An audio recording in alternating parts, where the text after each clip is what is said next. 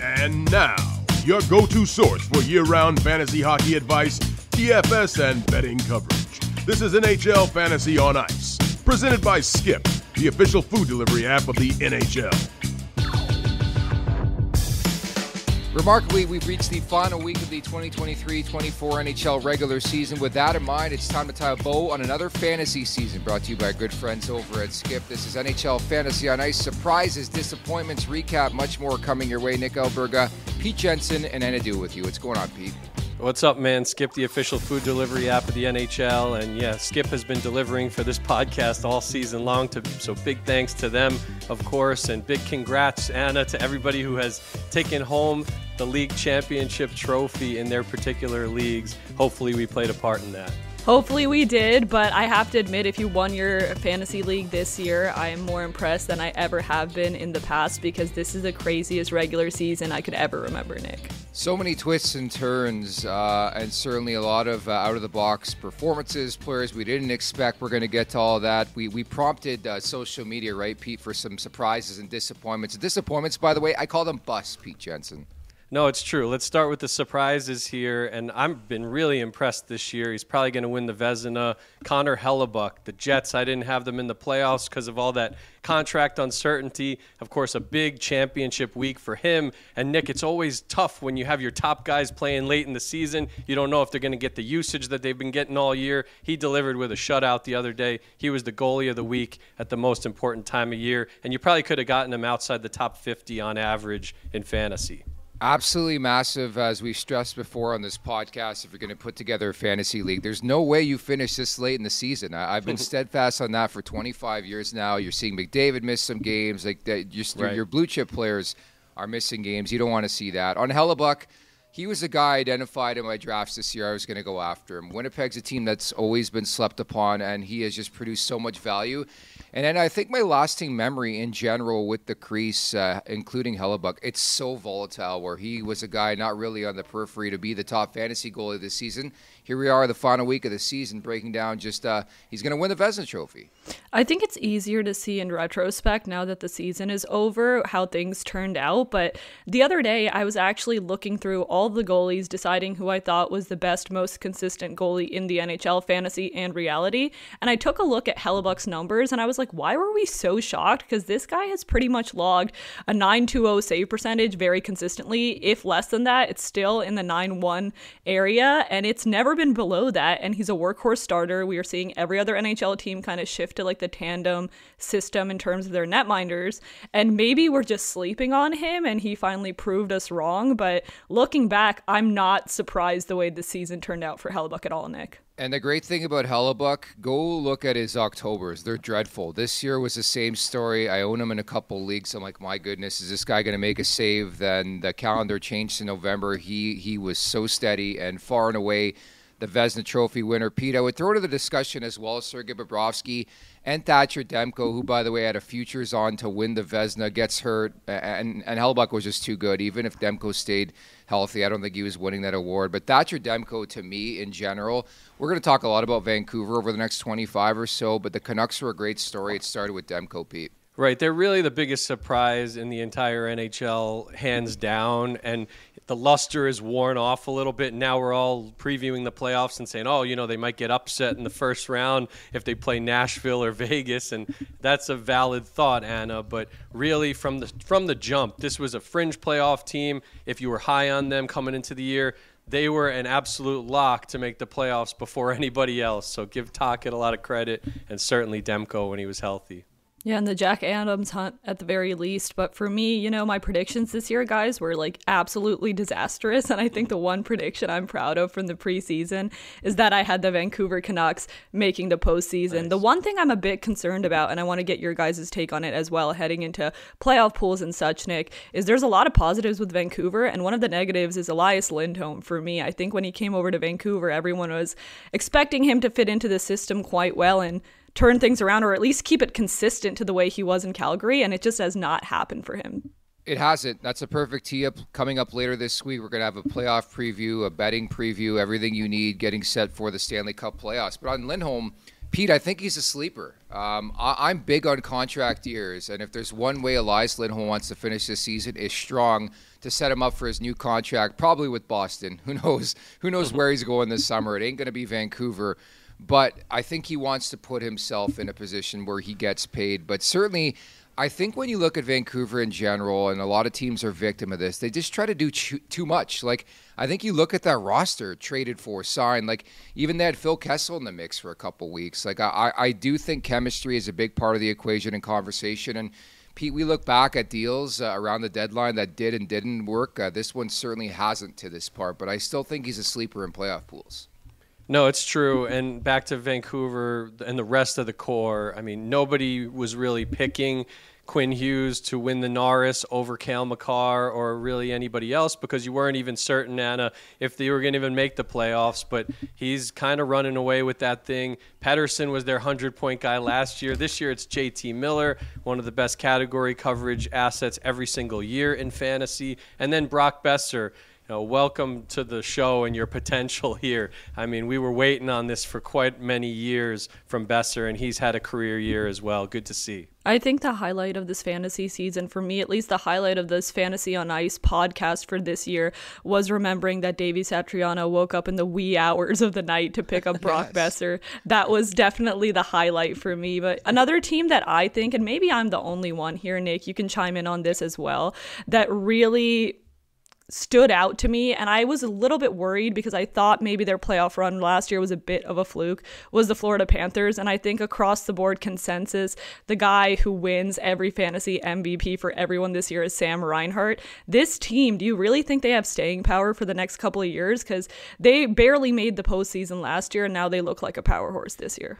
Yeah, without question, this has to be the biggest singular story of the fantasy season. How this guy goes from an ADP of 96.4 to a top 10 fantasy file, 55 tucks, contract year. It's been unbelievable for Sam Reinhart. I think you look at Florida in general.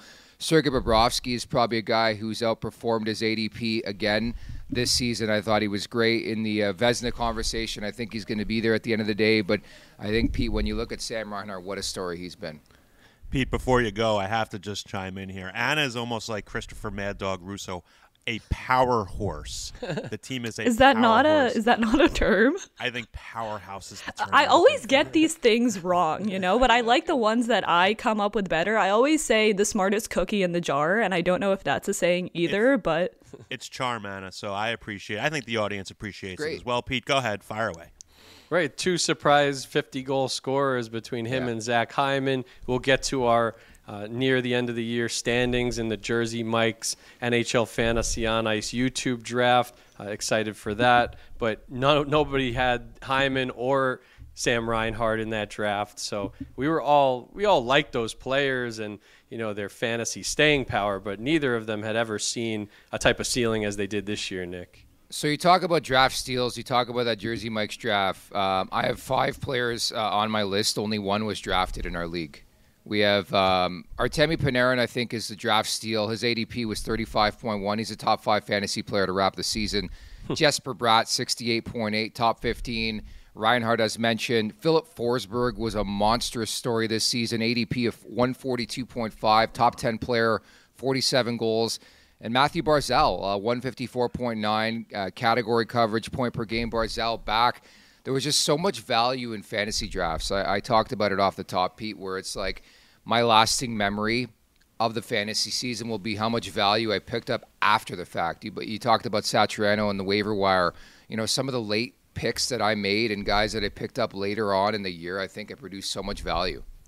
And I remember back at the Jersey Mike's draft when I was talking with Leboff, I had the Islanders out. It looks like they're on the cusp here, probably going to get in as of record time. Uh, but I would have thought if they made it, like that Sorokin would have been the guy carrying them. He faced a ton of high danger shots, did pretty well, but it's actually been Varlamov, Anna, top five in the league in high danger save percentage this season, and starting the bulk of the games for that team down the stretch. And then their fantasy MVPs this year have been not Sorokin. It's been, you know, Dobson as a top five, 10 defenseman and Barzal playing with Horvat for the entire year. Barzal playing the wing and having, uh, you know, a shade of his rookie season from many moons ago.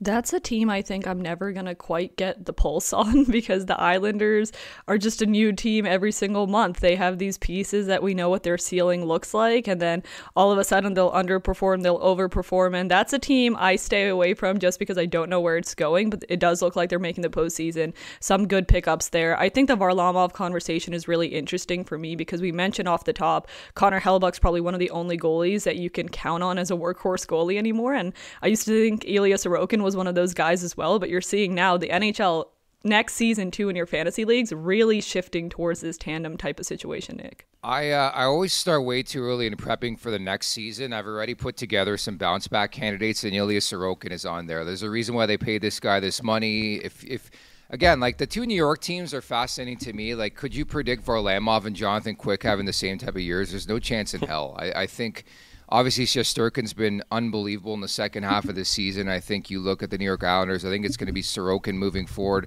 with Patrick Roy. Since we're on the conversation of Sorokin, some busts that I want to bring to mind, disappointments as Pete Jensen calls them. Tage Thompson, uh, this is a guy I was scared to rank going into the season, and there's no question he has not been healthy for a long period of time. ADP a 14.4 around number 90 in terms of rank right now. I talk about Sorokin, ADP of 18 around 170. Jake Oettinger's and I, another guy I would throw into that conversation. Tim Stützle and uh, Filip Gustavsson, another couple of guys that I thought were big time disappointments. Uh, who did you have, Pete? Well, yeah, I'll take some responsibility for Thompson and the Sabres this year. I thought that they should, I still think they should have made the playoffs. When you see teams like Detroit middling team, even when yeah. they have Larkin healthy, and the Capitals are still in it, and the Penguins, or they were 10 points out at the deadline, they're still in it. They might make the playoffs, and Buffalo's eliminated before any of those teams. Shame on Buffalo, shame on the Jersey Devils. I was so high on both of those young cores, but they just didn't bring it this year. For me, there are two names that stick out when we're talking about bus. And I think in the off season, we get a little bit too excited about guys moving to different locations. And we're like, you know what? This is the year they're going to turn it around. The big one, Pierre Luc Dubois in Los Angeles, guys. Like that is the number one one for huh. me. Second, Connor Brown, and we have to take accountability on this podcast because we hyped up Connor Brown to no end, thinking that it was going to be like the second coming with him playing with Connor McDavid. It did not happen, Nick. Those are the two biggest busts in my eyes. Yeah, I think. Um high atop the list for sure. I remember having that Drouin versus Brown conversation. I guess uh, great to say that one of the guys we called in Drouin's had a really, really good year. I would be shocked if he doesn't sign an extension with Colorado. But yeah, Connor Brown, it's been tough sledding, been better the last little while. And Pierre Luc Dubois is the guy I always fade in fantasy drafts, right there with Pete's boy, Pat Laine. Can't get there anymore. You, you got to give me a couple years, and then I'll draft you in fantasy hockey. But uh, that, that's always a compelling thing. I'll go back and look at our rankings and my rankings specifically from the preseason to now, and there's always some surprises. There's always guys who just don't play up to expectation, and and those are the guys that came to mind, like Thompson again, Sorokin. The goaltenders are always atop the list. It seems to. And who would have thought that if the Sabres were going to miss the playoffs yet again, the playoff drought's now at 13 and counting. Hopefully they end it next year, but who knows? UPL over yeah. Devon Levi. Remember, uh, Johnny Lazarus took, uh, I mean, he had a great draft. He's not going to win that league, but he did take Panarin, I believe, in that draft. You were saying it was yeah. one of the steals. He also had yeah. one of the worst picks in Devon Levi because he's been in the yeah. AHL for most of the season. And who could blame him for making that pick at the time? He looked like he was going to be a top three Calder guy, but really. You could say UPL, even with what has gone wrong with the Sabres, Anna, maybe the biggest goalie steal in all of fantasy. Either him or maybe Connor Ingram. One of those two for sure. I think UPL at least became relevant again. I feel like everyone stopped yeah. talking about him because of Devon yeah. Levi in the preseason, and it was his crease to take. And I feel like UPL finally, at least, he's on people's minds at the very least heading into next year. There's a certain category, Nick, this year that I think hasn't existed in past years just based off of how tumultuous this season has been. And those are like the bus that gave me hope at the end of the year. and I feel like that has never happened before. Yeah. But there's two players that stick out to me in this case, and that's Andrei Kuzmenko, who I was really, really high on heading into this season. And he didn't look too hot. Now with Calgary, he has nine goals, 16 points in his past nine games. He's rocking and rolling. And then Timo Meier finally turned stuff on at the end of the year for the New Jersey Devils after being pretty much irrelevant under Lindy Ruff for most of the season. So, wondering about those two guys, like, is it enough for you to be confident in them next season? Yeah, definitely. It, makes me at the very least like second guess my original rankings going into next year that are always changing. But Kuzmenko specifically is a guy I picked up on, and we did here on this podcast right away. I mean, this guy, the guy scored 40 goals. I mean, you don't you don't just score 40 goals in the NHL. I understand he's a bit older, but he's a guy I'm circling back on. I still think he's going to be a sleeper. I think people are going to pass on him. I think a lot of people are not playing fantasy hockey this late in the season. If they're not playing fantasy, they're probably not watching. And I think he's a guy definitely like he feels and looks more comfortable uh, in Calgary if he stays there long term. Kuzmenko's a guy I think he's going to be ranked around 100, 120. At least that's where I would rank him. All in on him. And Timo Meier, like it's weird. Like I, I agree with you. He has not had a good year. I don't think his value has changed at all. He has been a top 50 guy going into the season.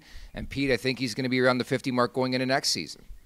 No, it's true. And when you look back at the the drafts that we did and stuff. And you know sometimes even some of the top guys like you got to give them some respect. Kucherov Pastrnak yeah. their teams were on a downward trajectory. And all of a sudden Kucherov explodes for even better than his previous career high. One of the best seasons in the NHL individually in the past 30 years for Kucherov. And Boston is right there near the top of the NHL standings thanks to Pastrnak he's not going to win the Hart trophy but maybe he should be getting a little bit more love for that award. Yeah, I was just going to mention too. Again, if you guys recall, I I wasn't feeling as great as others on David Pastrnak, and he's exceeded my expectations. And that conversation was more about the centers. I, I read a stat last week on X, uh, pretty much suggesting that. Uh, the turnover from Krejci and Bergeron has been pretty much the same in terms of what they have with Zacha and Coyle point wise, w- which is nuts. I mean, those guys have really, really elevated. Uh, you talk about Pavel Zacha. He was on our sleeper list. The first half wasn't great. The second half, fantasy playoffs, he was electric. So I, I got to give a shout out to David Pastrnak. Want to do the same for Auston Matthews, first player to 66 goals in 28 years, one away from 70. As we have this conversation, he's been incredible. You, you mentioned Kucherov, you mentioned Nathan MacKinnon, and that's my lasting memory from this fantasy season. How many bona fide studs there were in fantasy hockey, where you go into next year it is no longer a foregone conclusion McDavid's one. It's no longer a conclusion that Leon Draisaitl's number two. Like the rankings next year are, are, are going to be nuts. I can't wait for that episode of this podcast. I do think McDavid is going to be number one next year. I'm not going to lie to you, but number two to number five is up for grabs. And I feel like everyone's rankings is going to have a different order of players because you're right. All of these guys have had phenomenal years breaking, eh, whether it be personal records or NHL records. And another guy I wanted to give a shout out to as well, who's flying under the radar, is Kirill Kaprizov because earlier in this year, you could tell he wasn't 100% healthy. He also missed some time and he wasn't looking like himself, but he should have had a 100 point season if he played played a whole 82 games. He's still 11th in the NHL right now with 93 points in 73 games. And that was a player I know a lot of folks who were listening were worried about, but look at the way he's turned things around too. So that's another name I wanted to throw out there, Pete. Yeah, I like that. And you, you wonder too, guys, like if, if they could play with the right cap there in, in Minnesota, you sort of forget like 15% or 15 mil of that cap is getting paid off the guys who are no longer with the organization and the franchise. I mean, it is what it is, but I think Kaprizov's a guy who has stapled himself as a bona fide, at least top 15 fantasy file year in and year out. He's only going to get stronger. I think there was a bit of regression this year, but in the second half, specifically the last 15, uh, he has been so strong. And again, like that's going to be a fun convo where you can make a case for 10 to 15 players next year, Pete, to be in your top five. Like it's nuts. It's true, and I think when I look back at like I had the fifth pick in that draft, I believe Kucherov was still there, and I took Jack Hughes. Like I might have been up closer to you in the standings if I had the 150 points that Kucherov has or whatever it is. And Jack Hughes is better than a point per game. He's been dynamite when healthy, but he's missed a significant amount of time. So Kucherov has like double the points this season. Also, looking at the uh, fan questions and comments delivered by Skip. Uh, Jason Robertson, people are saying was a bit of a disappointment. Tage Thompson, a couple people said him. Trevor Zegras, I don't know if, what you were expecting, but uh, he has not been fantasy relevant this season and injured. Big surprise, Dobson. Uh, Sam Reinhart, Brandon Hagel, also one of the best even strength point producers in the whole league this year for Tampa. Wanted to add too in terms of uh, waiver pickups. We talked about Davey Satriano uh, picking up Brock Boeser like 3 a.m. in the morning after the first week. Well, he was 45% drafted. Other names I would throw out there: Seth Jarvis, 18% drafted. Robert Thomas, 7%. Wyatt Johnston, 4% drafted. So the majority of fantasy owners just plucking this guy off the waiver wire. UPL at 4%. And uh, Joey Daccord, we talk about goaltenders getting claimed off waivers. I think he's in that conversation where he really boosted, ignited fantasy rosters this season, Anna. He did. Pyotr Kochetkov as well, if you Yep. listen to me, guys. He turned things around, a tumultuous season for him. But the waiver wire is where I think a lot of people won their leagues. And you mentioned Robert Thomas, and I want to give a little bit extra emphasis there because no one's really talking about St. Louis. Like, I get that they're not making the postseason, but Robert Thomas was over a point per game player and is very much up there among the elites in the NHL right now. He has more points than Jason Robertson. He is right around the same area as Matt Tkachuk. And even though Tkachuk missed some time, I feel like Robert Thomas is a name that I've barely heard been mentioned. And I feel like St. Louis has something brewing. Like they're always competitive, they're always around the edge. And the way he's been playing, that's a player I definitely am like circling a couple of times heading into my fantasy drafts next season, Pete. Actually, Jordan Binnington has been a Yeah. pleasant surprise this year, even though they're going to miss the playoffs. Heavy workload, around the top 10 in the league in wins, despite them missing the playoffs here. Uh, so maybe he's still got something left in the tank. And never know with all the international competition, maybe he's in the mix for a Team Canada goalie. That's not exactly a good look uh, for that country in that position, but good for Binnington to rediscover his form from the championship year at least. Already throwing shade at uh, Canada. You you will mess around and you will find out. Just wait for the uh, Four Nations and the Olympics coming up in a couple years. Speaking of which, a guy who's going to be on the Canadian roster, presumably at the World Championship, Bobby Boy. Let's have that Connor Bedard conversation. We've been waiting all year. Coming out of the bullpen, producer Bob Bender had that number at 69 and a half. It got really, really damn close. he had 60 points in 66 games here, so not too shabby, Bobby. Close, but no cigar. Okay, it was all based on him not playing the full season, and he didn't play enough games to get there.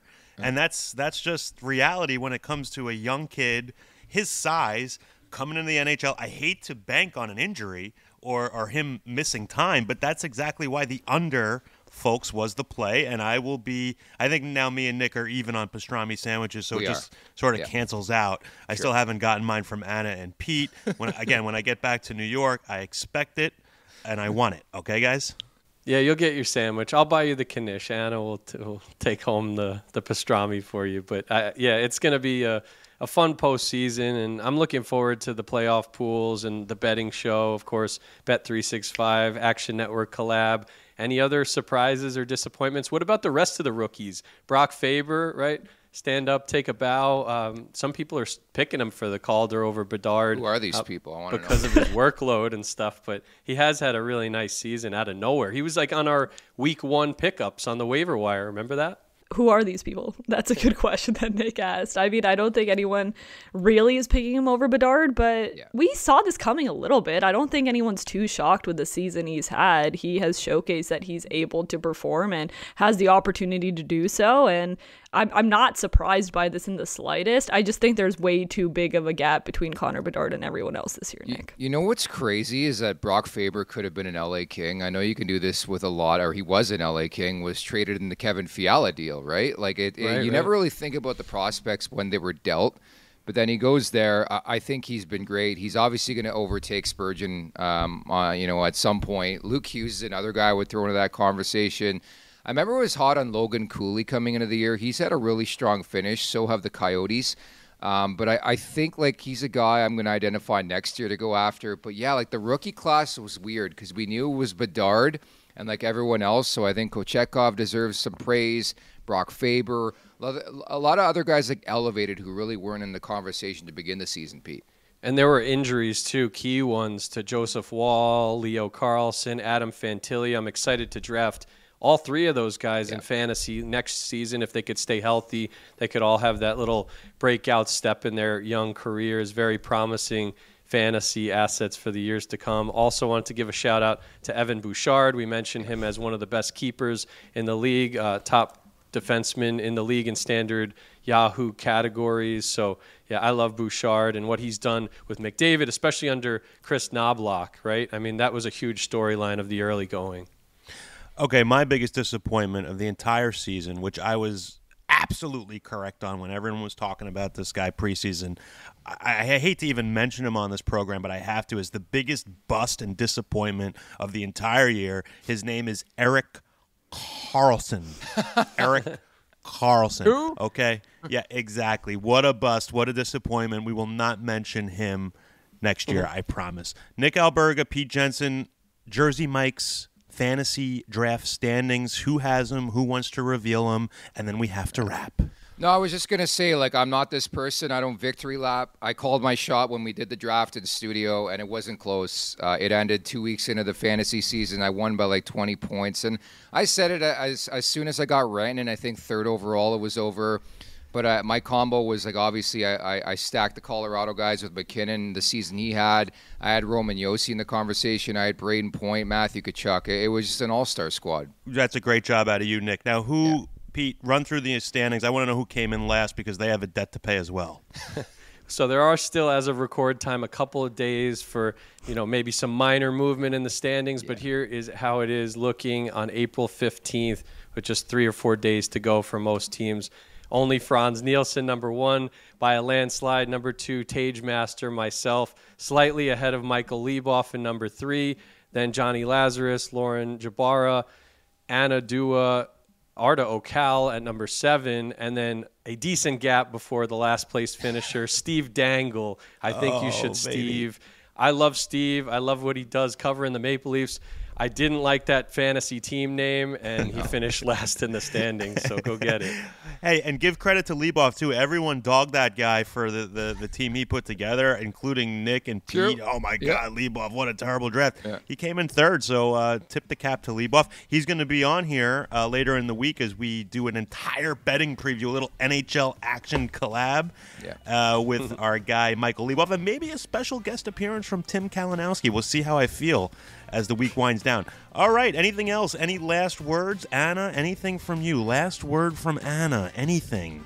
I would Please just like to say something. I was unfairly targeted by the hockey gods in this draft because literally almost every single guy, other than Nikita Kucherov, was injured for a significant period of time on my team. That's it, guys. Yeah, I was gonna say not to back you up, which I don't normally do, but uh, health uh, big with this league. You can't pick up players, so a lot of teams were buried early on with some of the injuries. So wanted to give a shout out to Jersey Mike's fantastic time. Be back in, uh, in in September to do it again, right? I'm gonna defend my title. We got to get me like a championship belt, and we'll bring it into studio, and we'll do it all over again coming up in September, guys. Great stuff. As mentioned later on the week, your playoff preview uh, your betting preview, the Stanley Cup playoffs. Let's get after it. Less than a week away from getting going. Can't wait for that. Thank you to producer Bob Bender. Uh, many thanks to Pete Jensen and Anna Dua. I'm Nick Alberga. You've been listening to NHL Fantasy on Ice, delivered by Skip, the official food delivery app of the NHL.